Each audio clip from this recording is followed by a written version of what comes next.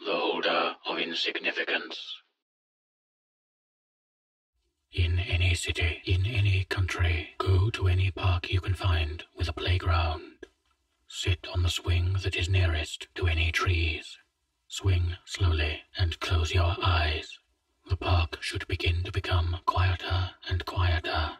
If it doesn't, if the volume increases to a loud, ear splitting buzzing level, accept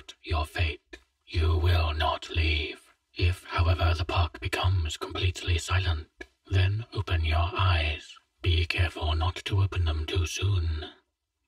You will find that you and the swings seem to be the only things in existence. You will be surrounded by something that isn't blackness, but is simply nothing. Step off of the swing and do not look back at it. Walk straight forward. Do not look around. Will find yourself feeling small, insignificant to the point of wishing you didn't exist. You could go on walking for mere minutes or years if you don't go insane from what you're feeling. You will eventually come to something that isn't nothing. It's not something physical you can see, but it is there. You can feel it. Pass through this area.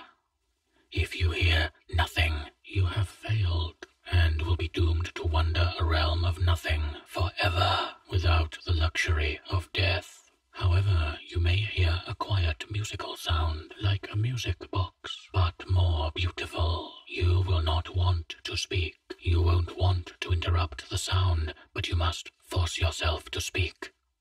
Call out. Why do we have to? Do not say anything else, and question in your mind why you have said this. If you have done correctly, your surroundings will melt back to the park, and you will find yourself a few steps in front of the swings. Look around the area of the swings. You will find a small bottle of white nail polish. The liquid in this bottle will never run out. There will be no label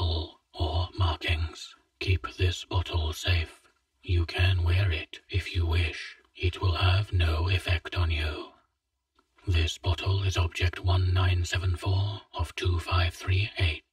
Don't swing too.